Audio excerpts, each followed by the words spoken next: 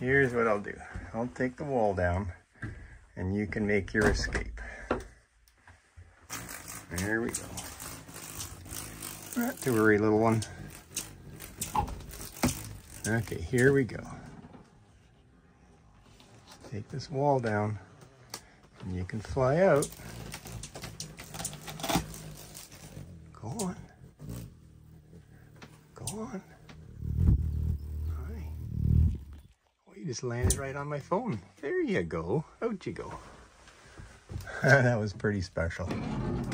Hummingbird landed right on my phone just before it escaped.